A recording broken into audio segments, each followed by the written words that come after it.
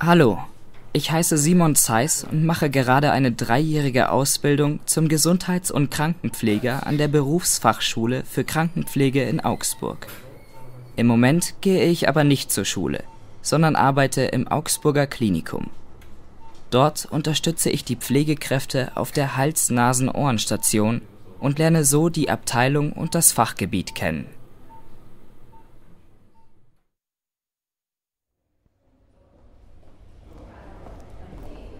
Guten Tag, Frau Rosette. Ich bin Schwester Anka, die Stationsleitung. Haben Sie unsere Station gleich gefunden? Ja, das war kein Problem. Schön.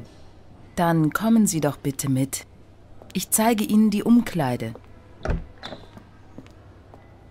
Da können Sie Ihre Schutzkleidung anziehen. Kommen Sie anschließend bitte in mein Dienstzimmer. Ich zeige Ihnen dort den Dienstplan. Sie haben die ganze Woche Frühdienst. Ach, sehr schön. Ich stehe gern früh auf. Um 6.30 Uhr ist Schichtwechsel. Dazu kommen alle Schwestern und Pfleger ins Stationszimmer. Dort machen wir dann die Dienstübergabe. Die Dienst... Äh, was ist das? Das ist ein Informationsgespräch. Wie hat Herr Müller aus Zimmer 6 geschlafen? Wie geht es ihm? Welche Medikamente hat er bekommen? Gibt es neue Patienten? Welche therapeutischen oder diagnostischen Maßnahmen sind geplant? Das alles berichten die Kollegen vom Nachtdienst den Kollegen vom Frühdienst. Also, in Zimmer 303 liegt Jakob Weber. Er ist 14 Jahre alt. Gestern ist er mit starken Bauchschmerzen zu uns gekommen. Herr Dr. Kunte hat festgestellt, dass Jakob unter einer akuten Appendizitis leidet und hat ihn operiert. Die OP ist gut verlaufen. Gestern Nachmittag hatte der Junge schon Besuch von seinen Eltern und seiner Schwester. Am Abend hat Jakob dann eine Infusion mit Nahrung bekommen. Also, in Zimmer 303 liegt Jakob Weber. Er ist 14 Jahre alt. Gestern ist er mit starken Bauchschmerzen zu uns gekommen. Herr Dr. Kunte hat festgestellt, dass Jakob unter einer akuten Appendizitis leidet und hat ihn operiert. Die OP ist gut verlaufen. Gestern Nachmittag hatte der Junge schon Besuch von seinen Eltern und seiner Schwester. Am Abend hat Jakob dann eine Infusion mit Nahrung bekommen. Hm. Hat er schon Wasser gelassen? Ich habe ihm zweimal die Urinflasche gebracht. Das hat gut funktioniert. Stuhlgang hatte er aber noch nicht. Naja, da ist ja auch noch ein bisschen Zeit. Wie war denn die Nacht für ihn? Hat er gut geschlafen? Nein, nicht so gut. Er ist zum ersten Mal im Krankenhaus und hatte in der Nacht ein bisschen Angst. Gegen drei Uhr hat er mich gerufen und nach einem Schmerzmittel gefragt. Das habe ich ihm nach Rücksprache mit dem Dienstarzt gegeben. Jetzt ist er schmerzfrei, aber etwas müde. Das kann ich mir denken. Gestern war die OP, richtig? Dann braucht Jakob beim Aufstehen aus dem Bett und bei der Körperpflege noch etwas Unterstützung. Richtig. Mit deiner Hilfe kann Jakob aber sicher schon aufstehen und ins Bad gehen. Dort kann er Zähne putzen und sein Gesicht und seinen Oberkörper waschen. Anschließend wäschst du seinen Unterkörper und seinen Rücken und begleitest ihn wieder ins Bett. Wie ist das für Jakob denn? Akzeptiert er Hilfe bei der Körperpflege? Ja, das funktioniert problemlos. Er ist sehr kooperativ. Beim Ankleiden braucht er übrigens auch noch Unterstützung. Jakobs Mutter hat ihrem Sohn gestern bequeme Kleidung mitgebracht. Ich habe sie in seinen Schrank gehängt. Und im Fach von seinem Nachttisch liegt sein iPod zum Musikhören. Das macht er gerne, hat er mir erzählt.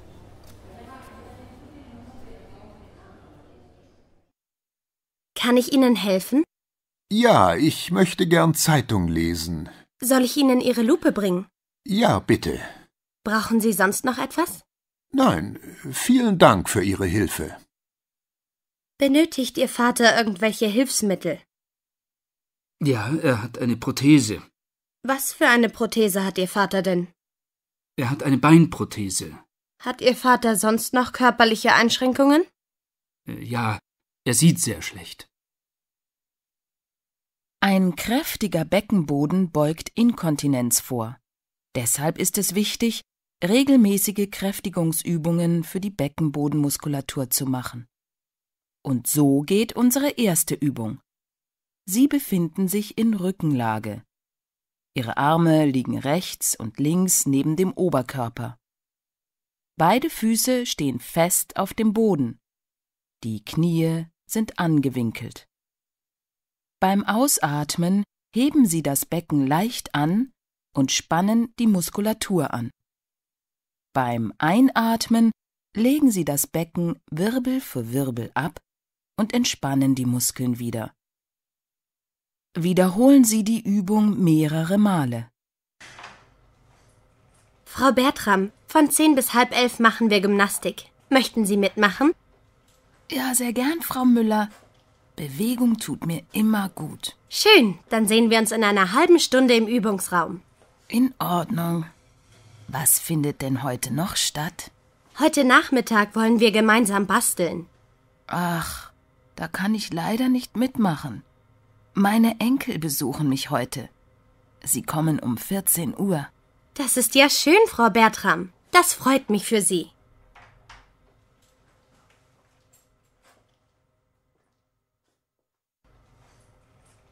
Herr Denk, wie geht es Ihnen heute? Danke, es geht mir nicht schlecht. Und Ihnen? Mir geht es gut, vielen Dank. Herr Denk, von 15 bis 16 Uhr machen wir in der Cafeteria verschiedene Brettspiele. Wollen Sie mitspielen? Brettspiele? Ach, ich weiß nicht. Ich habe keine große Lust. Ich würde lieber mit Herrn Meier zusammen im ganzen Haus die Pflanzen gießen. Das ist eine gute Idee, Herr Denk. Sie haben ja wirklich einen grünen Daumen. Ich sage Herrn Meier Bescheid.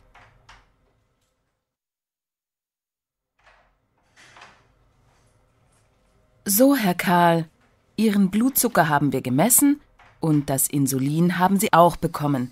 Jetzt würde ich Sie gern noch wiegen. Heute? Ach, herrje, dabei habe ich doch in letzter Zeit gar nicht auf mein Gewicht geachtet und bestimmt ordentlich zugenommen. Das werden wir gleich sehen, Herr Karl. Warten Sie, ich hole die Waage aus dem Bad. So.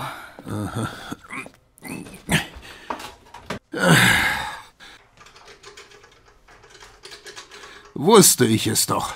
Hundert Kilo. Ja, Herr Karl, 100 Kilo sind tatsächlich zu viel und nicht gut für Sie und Ihre Gesundheit. Wie groß sind Sie? 1,82. 1,82. Das bedeutet, dass Sie maximal 82 Kilo wiegen sollten. 82 Kilo? Ich soll 18 Kilo abnehmen? Warum denn so viel? Im Moment haben Sie einen Body Mass Index von 30, Herr Karl.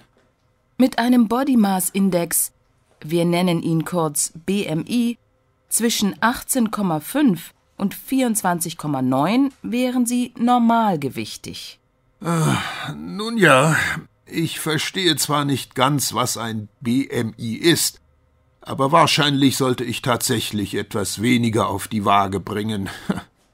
Aber seit meine Frau so krank geworden und gestorben ist, erscheint mir alles so sinnlos. Ich weiß, Herr Karl. Trotzdem sollten Sie monatlich etwa ein Kilo abnehmen. Das funktioniert, solange Sie sich gesund und ausgewogen ernähren. Ich würde vorschlagen, dass wir von jetzt an Ihr Gewicht einmal im Monat kontrollieren. Das motiviert Sie mehr als eine wöchentliche Gewichtskontrolle. Ja, da haben Sie recht. Ich könnte jetzt im Frühling eigentlich auch wieder öfter spazieren gehen. Sie haben mir ja den Rollator organisiert. Ja, das ist eine gute Idee, Herr Karl. Spazierengehen hilft Ihnen beim Abnehmen und Bewegung ist auch für Ihre Blutzuckerwerte wichtig.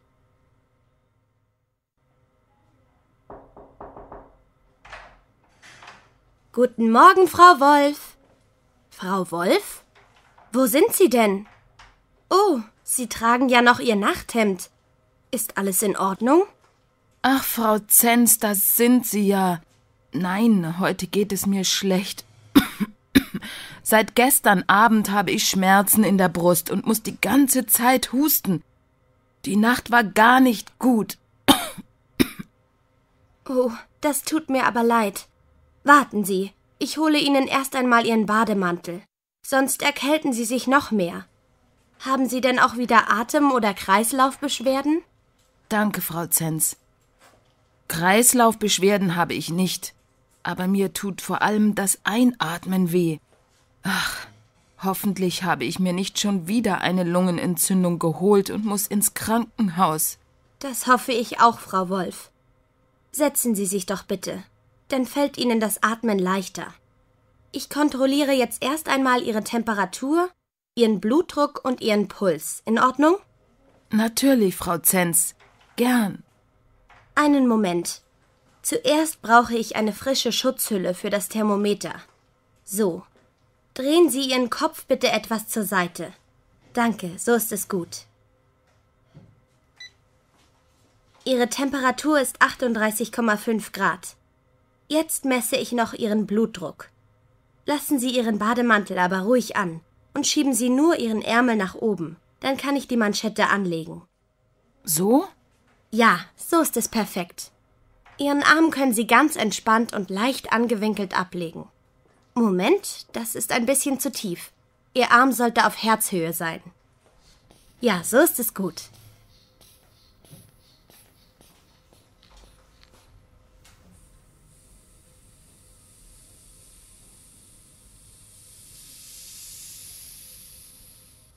Und? Wie ist mein Blutdruck? Ihr Blutdruck ist 158 zu 103, Frau Wolf. Oh, so hoch. Wie ist das denn möglich? Wir messen gleich noch einmal, Frau Wolf. Geben Sie mir aber zuerst Ihren Arm. Ich will noch Ihren Puls kontrollieren. Ihr Puls ist 110. Das ist schneller als sonst, liegt aber sicher am Fieber. Weniger gut gefallen mir Ihre Atembeschwerden und Ihr hoher Blutdruck. Deshalb würde ich gern mit Ihrem Hausarzt sprechen. Er soll Ihre Lunge abhören. Warten Sie, die Telefonnummer habe ich in Ihrer Akte notiert. Ja, gut, die Praxis. Was magst du denn besonders gern? Hm, also am liebsten esse ich Nudeln oder Müsli. Und was magst du überhaupt nicht? Ehrlich gesagt mag ich kein Gemüse. Ich weiß, dass es gesund ist und man es essen sollte, schmecken tut es mir aber überhaupt nicht. Am schlimmsten sind Bohnen. Wie viele Mahlzeiten am Tag isst du denn normalerweise? Also, normalerweise frühstücke ich, dann esse ich vormittags mein Pausenbrot, dann gibt's Mittagessen und später dann Abendbrot. Naja, am Nachmittag esse ich eigentlich immer einen Joghurt, eine Banane, ein Stück Kuchen oder Schokolade. Hast du irgendwelche Allergien? Nein, ich glaube nicht. Naja doch, ich habe eine Gemüseallergie. Frau Reiser, Ihr Vater hat eine starke Arthrose an den Fingergelenken und benötigt deshalb Hilfe beim Essen, richtig? Ja, das ist richtig. Man muss ihm die Speisen in mundgerechte Stücke schneiden und ihm dann eine ergonomisch geformte Gabel geben. Damit kann er selbstständig essen. Sehr gut. Hat Ihr Vater besondere Vorlieben oder Essenswünsche? Ach, am liebsten isst mein Vater ein Stück Fleisch mit Soße und Kartoffeln oder Reis. Gibt es auch Speisen, die Ihr Vater ablehnt? Hm. Was er überhaupt nicht mag, sind süße Hauptgerichte. Sind Ihnen irgendwelche Allergien oder Lebensmittelunverträglichkeiten bekannt? Oh ja, gut, dass Sie danach fragen. Mein Vater sollte keine Orangen oder andere Zitrusfrüchte essen. Er bekommt sonst Probleme mit seiner Haut. Das ist wichtig zu wissen. Vielen Dank, Frau Reiser. Guten Morgen, Herr Bauer. Wir möchten Ihr Bett beziehen. Ist das in Ordnung für Sie? Ja, natürlich, Schwester Maria. Vielen Dank. Drehen Sie sich bitte nach links. Dann können wir das alte Laken entfernen und das neue einspannen. Sehr gerne. Das geht ja bei Ihnen so schnell. Das stimmt. Das üben wir ja auch jeden Tag. So, jetzt drehen Sie sich bitte über den Wäscheberg nach rechts. Gut, dann bekommen Sie jetzt noch einen frischen Bezug für Ihr Kissen und Ihre Bettdecke. Sehr schön, Schwester Maria. Dann geht es mir auch schon ein bisschen besser. So, bitte, Herr Bauer. Soll ich Ihr Kopfteil etwas höher stellen? Ja, gerne, Schwester Maria. Vielen Dank.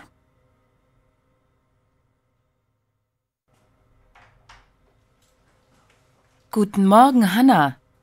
Wir würden gern dein Bett machen. Ach, das ist gut. Ich habe gesehen, dass auf meinem Laken Flecken sind. Gleich bekommst du ein sauberes Laken. Warte, ich helfe dir beim Aufsetzen. So, jetzt kannst du dich wieder hinlegen. Oh, das ist ganz schön anstrengend. Und wir sind noch nicht fertig. Richtig, Hanna. Halte dich bitte am Bettbügel fest und mach eine Brücke. Wunderbar. Warte, ich ziehe das Laken noch schön glatt.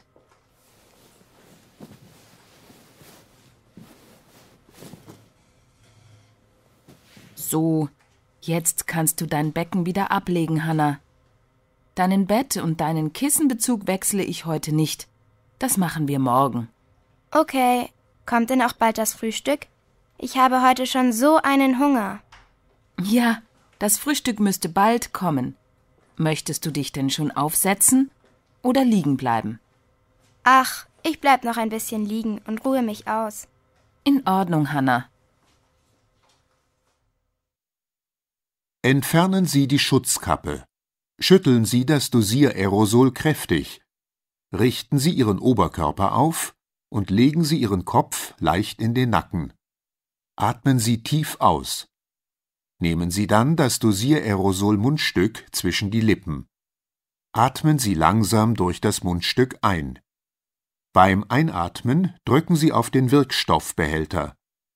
Atmen Sie weiter tief ein und halten Sie anschließend für etwa 10 Sekunden die Luft an. Atmen Sie langsam durch die Nase aus. Wenn Sie eine zweite Dosis benötigen, wiederholen Sie die Schritte 2 bis 7. Warten Sie aber mindestens 30 Sekunden zwischen den einzelnen Hüben. Nach der Anwendung reinigen Sie das Mundstück. Setzen Sie zum Schluss die Schutzkappe wieder auf das Mundstück. So, Frau Bernhard, in Ihrem Medikamentenbecher liegt eine weiße, flache und etwas längliche Tablette mit einer Bruchrille. Auf der einen Seite sehen Sie eine 5, auf der anderen ein R. Das R steht für Ramipril. So heißt die Tablette, die Sie in einer Dosierung von 5 Milligramm einmal täglich morgens wegen Ihres Bluthochdrucks einnehmen müssen. Morgens? Heißt das, dass ich die Tablette auf nüchternen Magen schlucken muss? Nein, Sie müssen nicht nüchtern sein. Sie können die Tablette zum Frühstück oder auch nach dem Frühstück einnehmen. Wichtig ist nur, dass Sie die Tablette regelmäßig und immer zur gleichen Uhrzeit einnehmen. Außerdem dürfen Sie die Tablette nicht zerkauen, zerbeißen oder zerkleinern, sondern müssen sie im Ganzen, also unzerkaut schlucken. Ich verstehe. Und was ist mit dieser Tablette hier? Die ovale, rosafarbene Tablette hier senkt ihre Cholesterinwerte. Die Blutuntersuchung hat ja gezeigt, dass ihre Werte zu hoch sind. Auch bei dieser Tablette ist es ganz wichtig, dass Sie sie regelmäßig einnehmen und nicht absetzen, auch wenn Sie momentan keine Beschwerden haben. Ja, ja, ich weiß, dass ich Tabletten nicht einfach absetzen darf. Kann ich diese Tablette denn zusammen mit der Blutdrucktablette nehmen? Nein, unser Körper produziert vor allem nachts Cholesterin. Deshalb werden Statine, also Mittel zur Senkung des Cholesteringehalts im Blut, am Abend eingenommen. Nehmen Sie Simvastatin, also die rosafarbene Tablette, deshalb bitte immer abends ein. Sie nehmen davon auch nur 10 Milligramm, das heißt eine halbe Tablette. Gut. Morgens schlucke ich also eine ganze weiße Tablette, abends eine halbe rosafarbene. Muss ich denn sonst noch etwas beachten? Ja, ganz wichtig ist, dass Sie die rosafarbene Tablette nicht mit Grapefruitsaft einnehmen.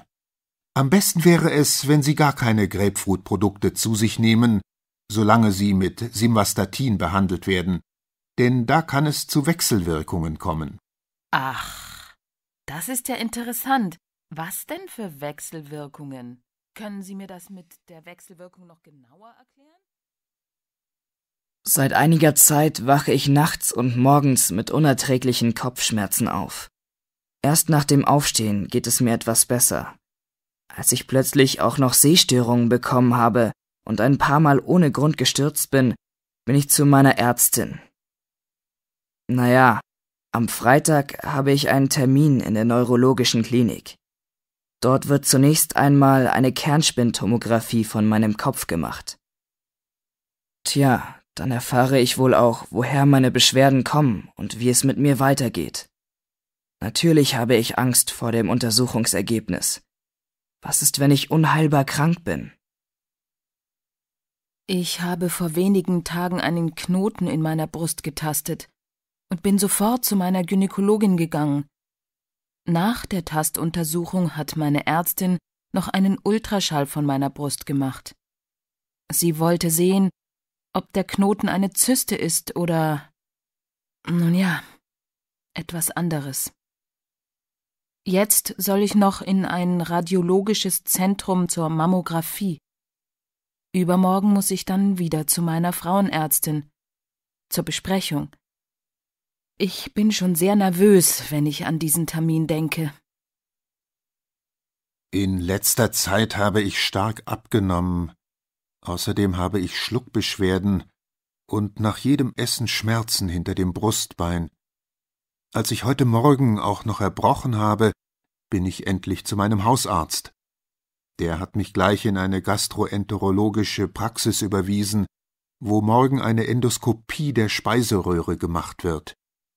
Mal sehen, was die Ärzte da herausfinden. Angst habe ich natürlich schon, sowohl vor der Untersuchung als auch vor der Diagnose.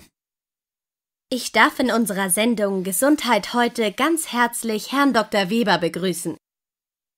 Dr. Weber ist Urologe und beantwortet uns heute netterweise ein paar Fragen zu einem unserer Körpersäfte, nämlich dem Urin. Mhm. Unsere erste Frage an Sie, Dr. Weber, ist, wie sieht gesunder Urin aus und wie verändert sich seine Farbe bei bestimmten Krankheiten? Ja, also gesunder Urin ist klar und hellgelb, fast zitronengelb könnte man sagen, denn er besteht zu 95 Prozent aus Wasser. Wenn wir wenig getrunken und viel geschwitzt haben, kann er auch dunkelgelb sein. Wenn Urin dagegen grünlich oder braun und außerdem schaumig ist, ist das oft ein Zeichen für eine Erkrankung der Leber.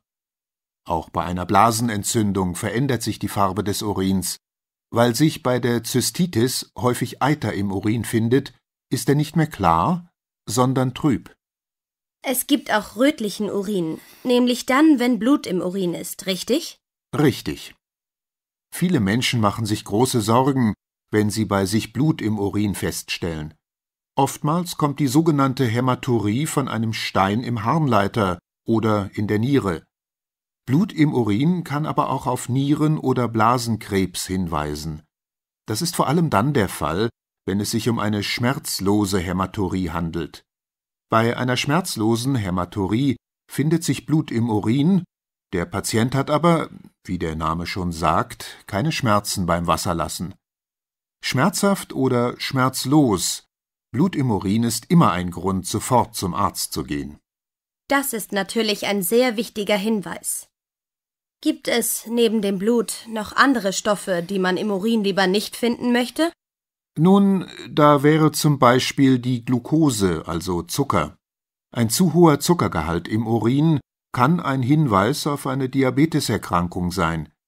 Weil Urin normalerweise kein oder nur sehr wenig Eiweiß enthält, sind auch erhöhte Eiweißwerte meistens ein Zeichen dafür, dass eine Erkrankung vorliegt, beispielsweise eine Erkrankung der Niere oder eine Harnwegsinfektion.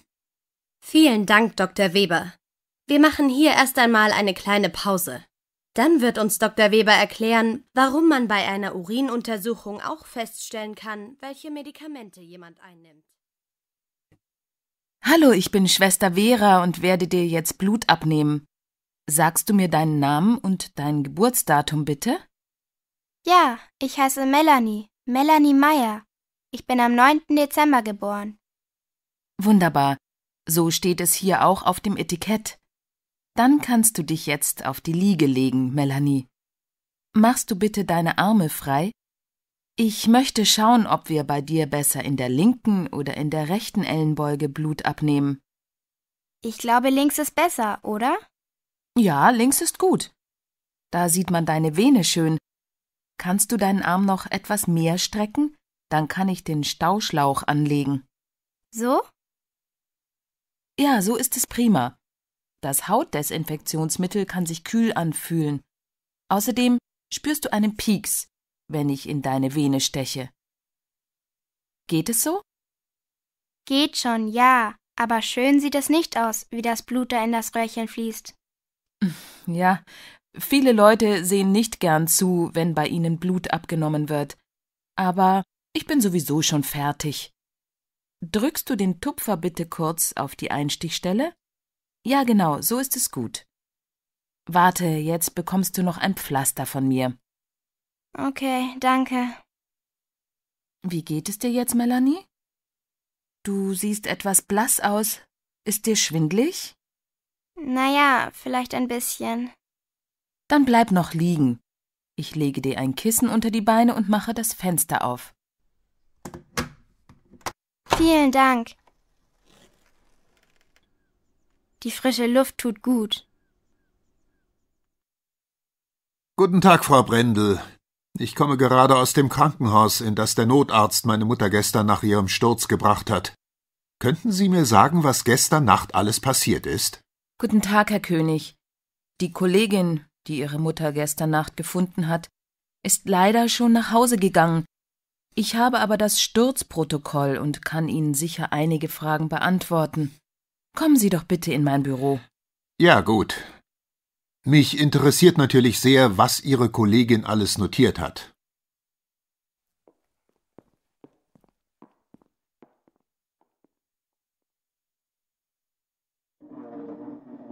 Nun, laut Sturzprotokoll ist Ihre Mutter gestern Nacht um zwei Uhr gestürzt. Zum Glück ist sie nicht gleich bewusstlos geworden, sondern hat noch um Hilfe rufen können, so dass Frau Hänsel ihre Mutter gleich gefunden hat. Sie lag im Flur. Warum sie aufgestanden ist und ihr Zimmer verlassen hat, wissen wir nicht. Sie meinte nur, dass sie beim Gehen plötzlich ihr Gleichgewicht verloren hat und deshalb gefallen ist. Ist sie denn über irgendetwas gestolpert? Auch das wissen wir nicht genau. Im Flur waren jedenfalls keine Hindernisse oder Stolperfallen, wir vermuten aber, dass ihre Mutter über ihren neuen Bademantel gestolpert ist. Der sitzt ja etwas zu locker und den hat sie getragen, als sie gestürzt ist. Hm. War es im Flur denn hell?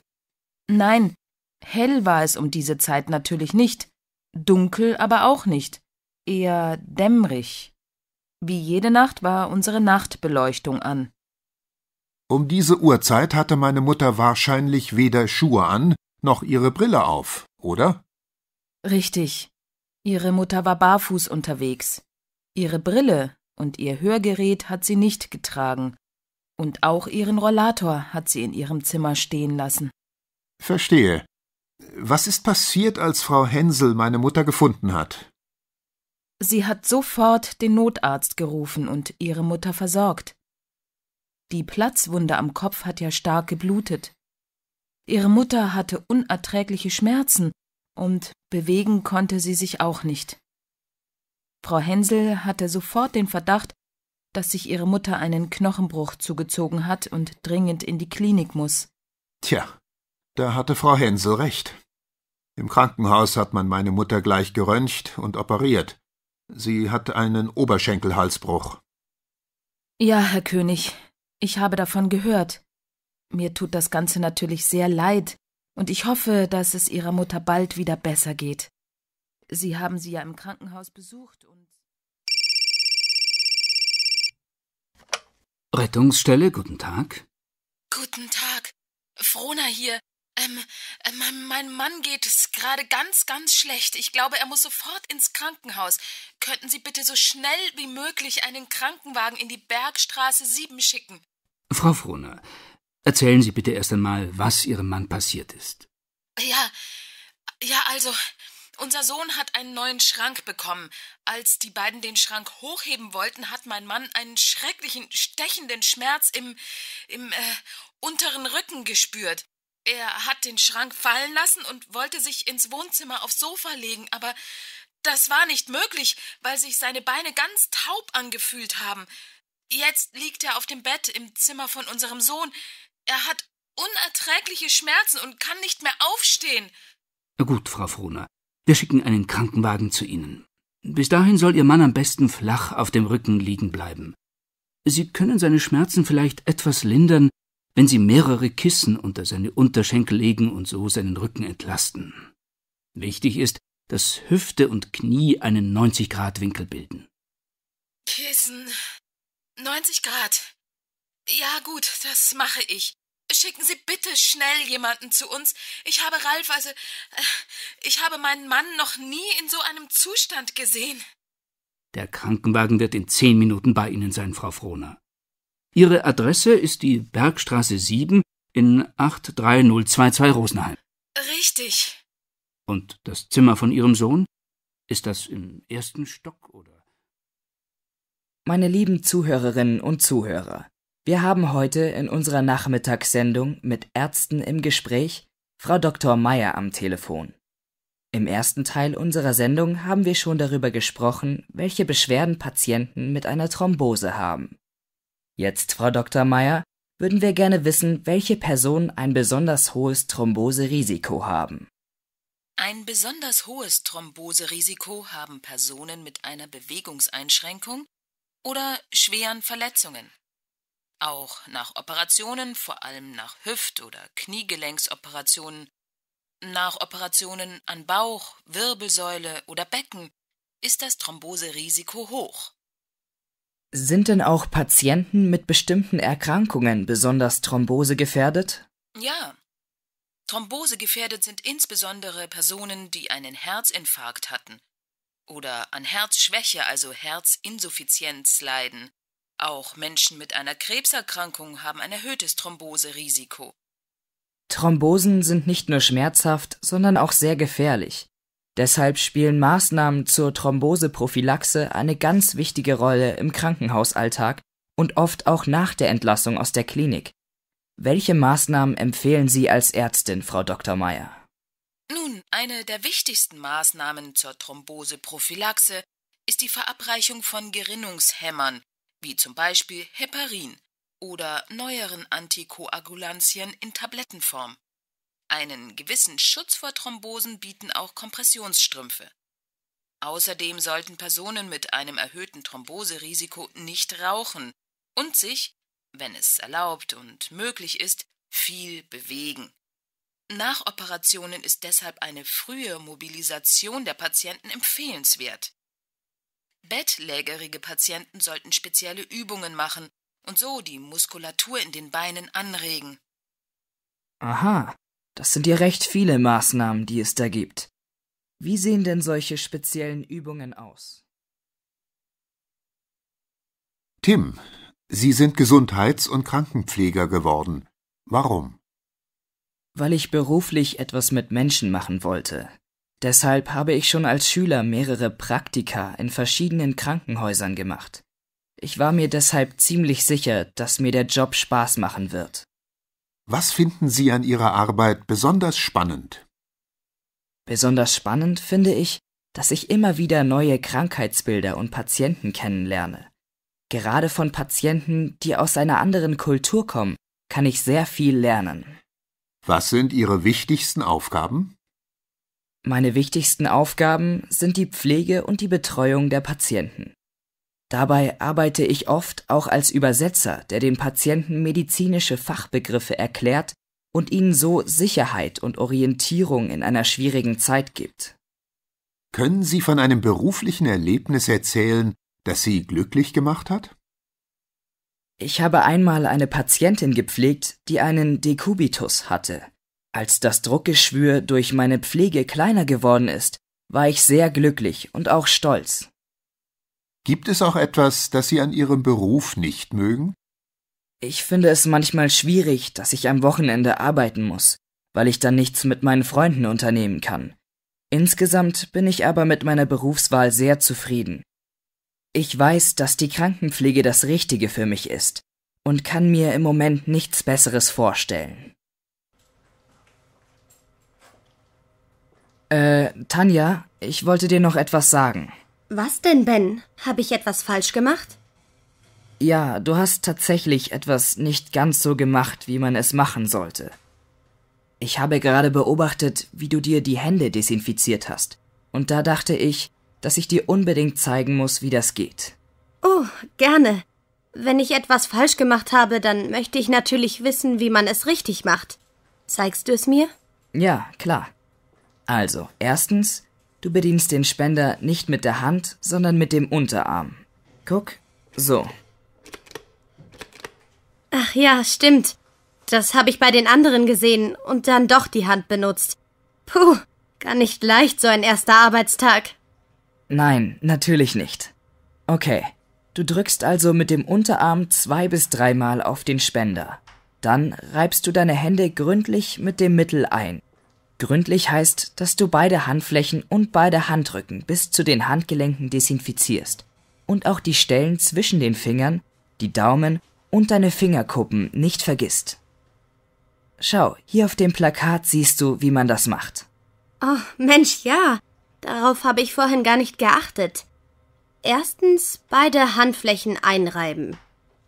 Zweitens den rechten und linken Handrücken einreiben Dabei auch die Stellen zwischen den Fingern nicht vergessen. Drittens die Stellen zwischen den Fingern auf der Handinnenseite einreiben. Viertens die Außenseiten der Finger auf der Handfläche der anderen Hand mit verschränkten Fingern einreiben. Fünftens den rechten und linken Daumen und sechstens die Fingerkuppen in der Handfläche der jeweils anderen Hand einreiben. Du wirst sehen, dass das bald funktioniert, ohne dass du lange darüber nachdenken musst.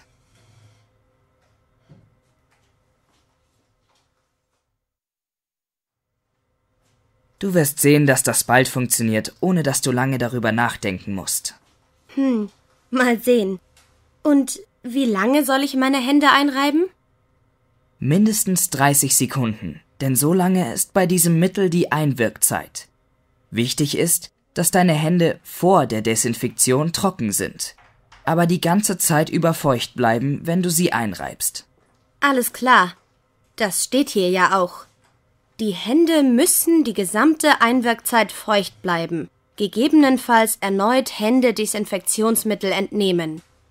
Warum ist es denn so wichtig, dass man sich die Hände desinfiziert? Na, weil sehr viele Viren, Bakterien und andere Krankheitserreger über die Hände an andere Personen weitergegeben werden. Die Händedesinfektion macht diese Erreger unschädlich. Allerdings nur, wenn man sie richtig und regelmäßig durchführt. Verstehe. Sag mir noch, Ben, wann sollte man seine Hände denn desinfizieren? Schau, das steht hier auch. Die Händedesinfektion wird vor aseptischen Tätigkeiten, also zum Beispiel vor Verbandswechseln und Blutentnahmen, vor und nach jedem Patientenkontakt und nach Kontakt mit infektiösen Materialien, also zum Beispiel mit Blut, Urin, Stuhl und anderen Ausscheidungen durchgeführt. Außerdem desinfizieren wir. Ben, entschuldige, aber das sind erst einmal genug Infos für mich. Soll ich dir kurz zeigen, dass ich das mit der Händedesinfektion besser kann als vorhin? Ja, nur zu. Zeig mir, was du gelernt hast. Okay, los geht's.